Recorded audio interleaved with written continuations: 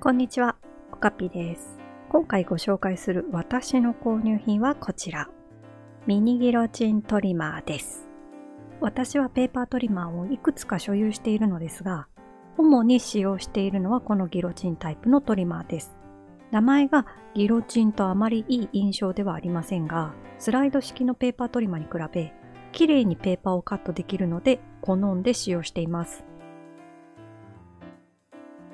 そんなギロチントリマーのミニサイズを見つけたので購入してみました。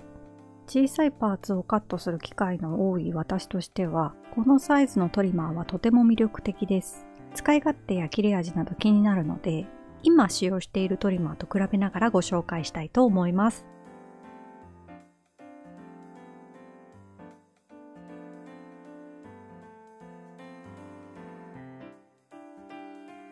私がメインで使用しているトリマーは、このティム・ホルツトニック製品です。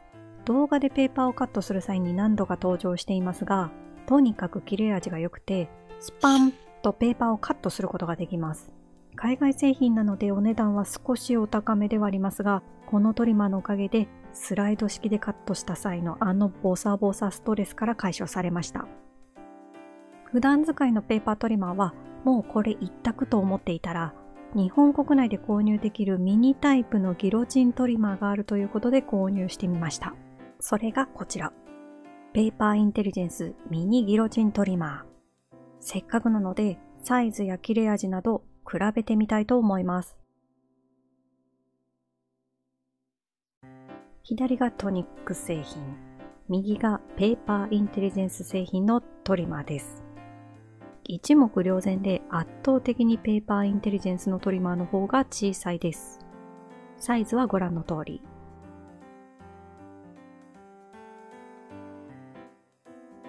トリマーにペーパーを置いて比較もしてみましょう。はがきサイズのペーパーを置いたとき。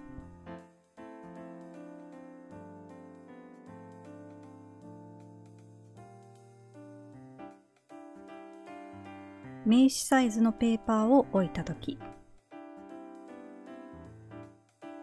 メモリはともにインチ、センチ対応で上下に記載されています。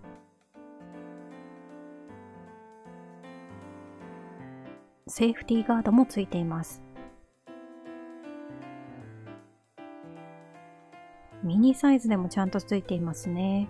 ちなみにセーフティーガードはペーパーをホールドする役割もあります。気になった点としてはハンドルです。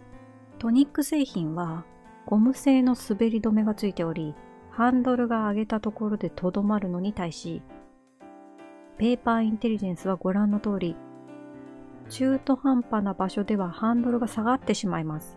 一番上まで上げるとグッという感触があるので、ハンドルを上げ切った際にとどまるようになっているようです。中途半端な位置で止めるのはやめた方が良さそうです。カットをする際、ペーパーを固定するための段差、いわゆるストッパーがあるのですが、トニック製は上下にストッパーがあるため、上部だけでなく下部の方でもペーパーをカットすることができます。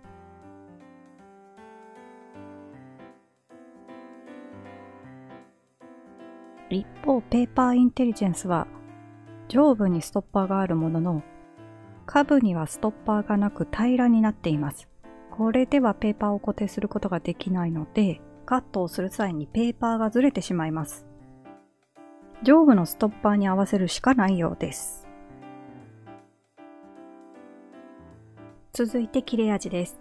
今回は3つのペーパーを用意しました。ベースで使用することの多いホワイトカード、使用頻度の高い色画用紙、薄いペーパーとして折り紙です。そしてトリマーは切れ味の比較になるようスライド式のペーパートリマーも用意してみました。それではカットしていきたいと思います。まずはスライド式から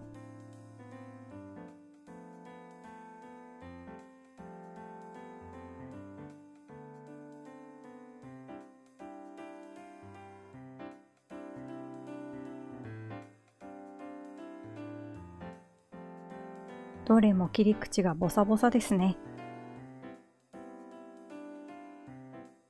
続いてトニック製品です。安定の切れ味です。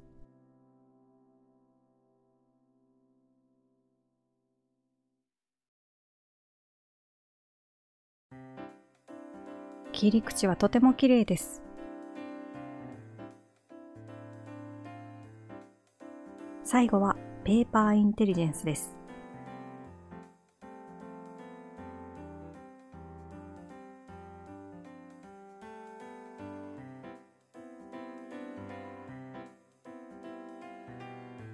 ミニサイズはどうかなと思っていましたが、綺麗にカットできました。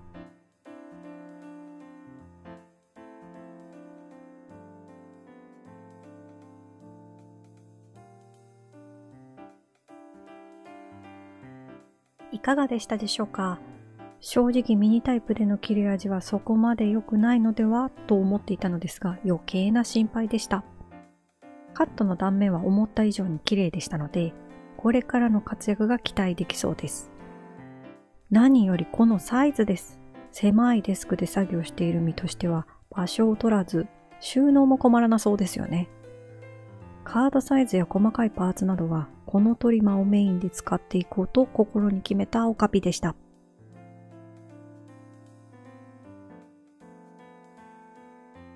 今回ギロチンタイプのペーパートリマーをご紹介しましたが、小さいお子さんがいるご家庭にはあまりお勧めしません。